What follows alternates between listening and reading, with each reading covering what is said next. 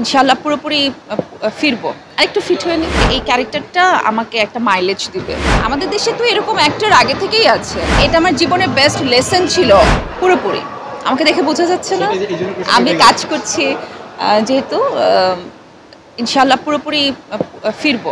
আরেকটু ফিট হয়ে নি। আচ্ছা রাজকুমারে আমার কাছে মনে হচ্ছে যে আমরা যদি পাশের দেশগুলোর দিকে তাকাই সবাই কিন্তু এরকম ক্যামিও করে থাকে।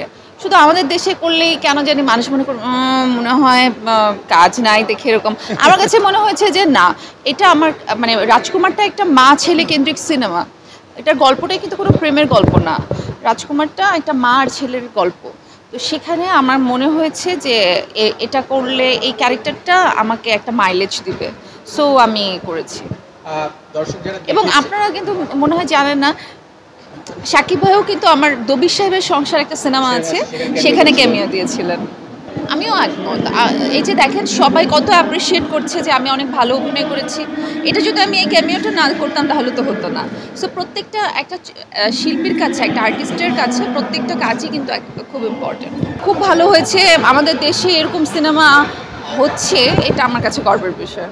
বললাম তো, আমাদের দেশে এরকম সিনেমা হচ্ছে এবং আমাদের দেশে তো এরকম অ্যাক্টর আগে থেকেই আছে। তাকে আসলে আমরা কতটুকু ইউজ করতে পেরেছি সেটা দেখার বিষয়। তো মানে তুফানে যেভাবে তাকে উপস্থাপন করা হয়েছে, আমার মনে হয় যে এরকম করে তো কোনো সিনেমা এর আগে হয়নি। আমি খুবই ব্লেসড আমার এত এত অভিজ্ঞতা হয়েছে, আমি এত অভিজ্ঞতা নিয়ে ঘরে ফিরেছি এটা আসলে বলার কোনো অপেক্ষা নেই। আমি বলব যে মানে এটা আমার জীবনের বেস্ট লেসন ছিল। এত মানুষের কাছে, কাছাকাছি একদম আমি গেছি, ঘরে ঢুকে গেছি।